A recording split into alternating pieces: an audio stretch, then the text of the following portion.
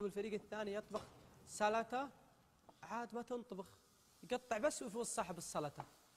رزق رزق حظ ارجع نعم. زي اللي اللي معه ريال وهذاك معه مليون. وش معنى هذاك معه مليون وهذا معه ريال؟ رزق صح والله لا يا وليد؟ صح. هذا يجعلني برجر